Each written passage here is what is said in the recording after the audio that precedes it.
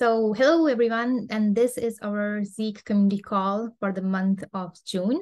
So I'm glad to see you guys all here and we can begin with the updates from the Zeek side. So I'll, I'll let Christian give us an update on the technical front of Zeek. So Christian, take it away. Yeah, sure. Thank you, Fatema, as usual. Um, there isn't all that much to talk about this month. I think, let me see. So we had two um, bug fix releases in uh, May. Uh, 509 and 522 came out.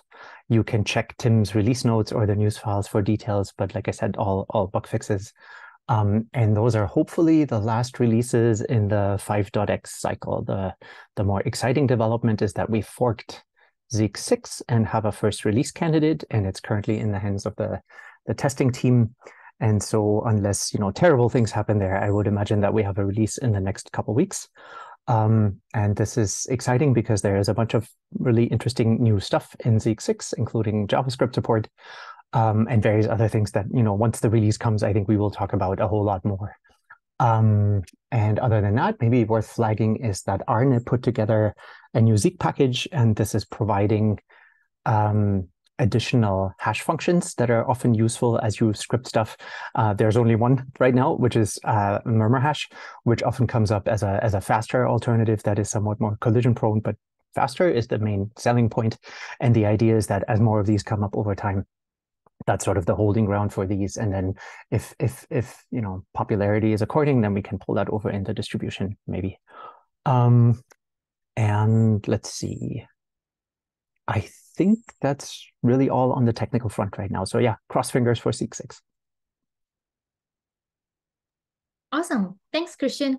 Are there any questions for Christian at this point?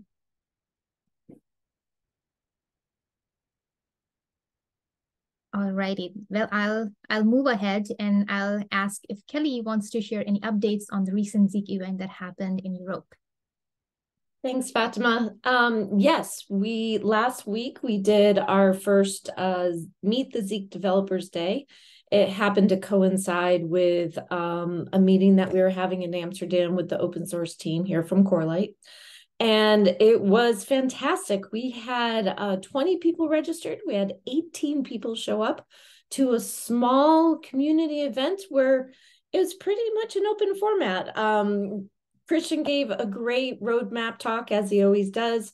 We had a guest speaker, um, but we spent a lot of time just talking to one another, and, and the development team got to hear from Zeek users, and Zeek users got to ask questions of the development team. It was a wonderful interaction. So, this was our first time out of the gate with this kind of new model, open format, small group, um, regionalized as opposed to a multi day, uh, one time a year event.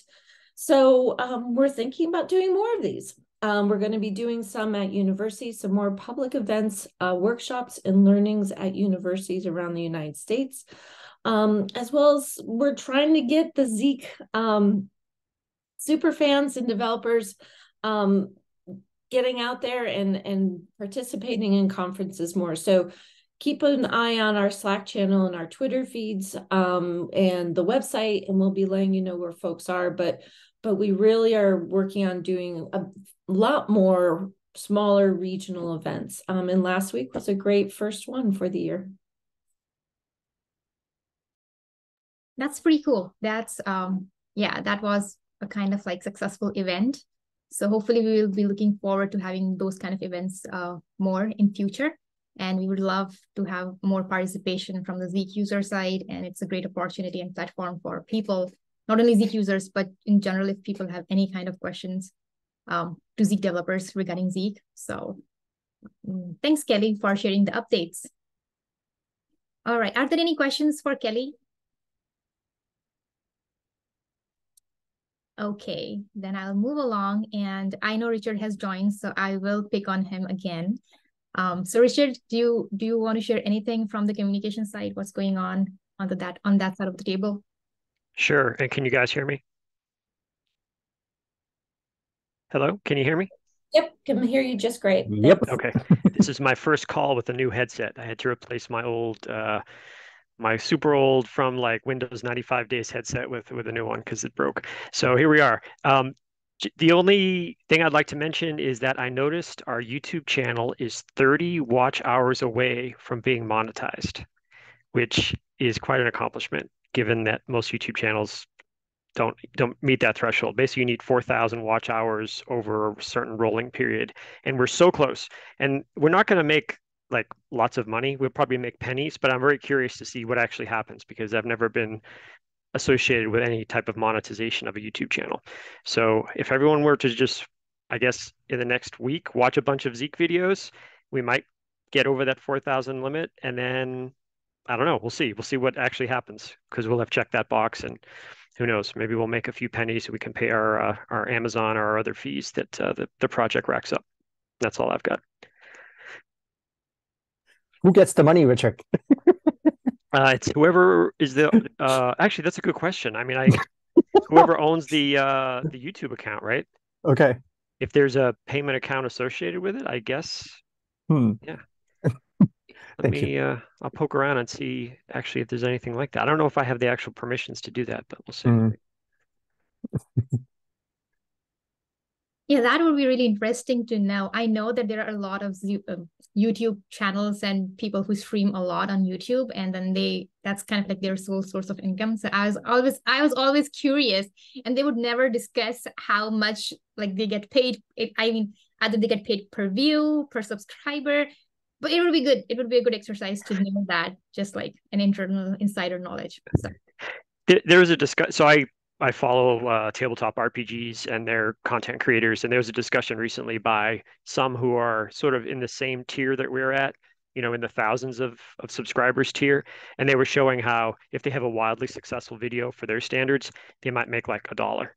So it's it, you have to really be in that elite tier, millions of subscribers to actually make money off of it. It's for most everyone else, you don't make anything. That's why I'm kind of curious to see like would our top video make like 15 cents? I mean, that, that's that's a great experiment here, I guess. But then again, you know, it would help defray some of our storage and hosting bills. So who knows? Well, it's bragging rights too. Yeah. So let's just not discount the bragging bragging rights on that. Yeah, just for FYI, I don't I don't appear to be like the actual Zeek user. I just have access to the channel uh, to do admin type stuff. So I can't see like um, where the money would go. Like, do we have a PayPal account or any of that kind of stuff? Probably Johanna. yeah, probably. cool. Very cool. All right. Well, thanks. Sorry, was there someone was talking? Um, I'm sorry to interrupt. All right. Well, thanks, Richard, for the communication part update. Really appreciate it. And um, Johanna couldn't join us today to give us a Zeek LT update because she's on vacation and I didn't want to bug her. So um, I, I guess there are not very much updates on the LT side as well because of the recent event we were having in Europe.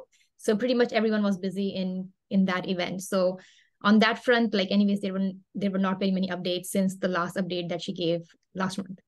So it's it's all good there. My throat is scratchy this morning. And from the training subgroup uh, side, uh, we don't have much updates on that front as well. Uh, we do have a lot of good ideas that we have discussed kind of like a month ago, and people are kind of like either traveling, they have they are on vacation, they are moving jobs. So uh, we haven't gotten a chance to sit together again and then hash some of those ideas into some actually doable, actionable items. So hopefully we will have some updates for next month but um, yeah, stay tuned for any kind of uh, updates on the training.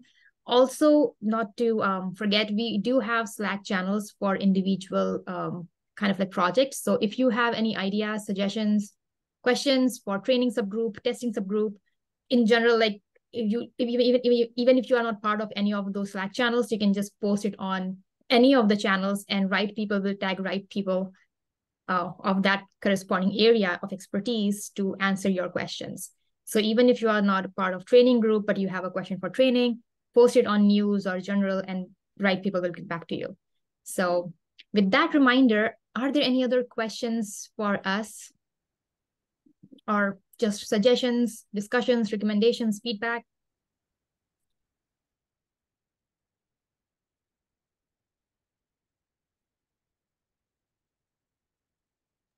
Alrighty, with that, I think we can wrap up this call and hopefully next time we will not have any trouble joining the Zeek community call. So, all right, enjoy the rest of the day, everyone, and I'll see you guys next month. Take care. Thanks, Thank you. Fatema. Thanks, Fatema. Bye. Bye.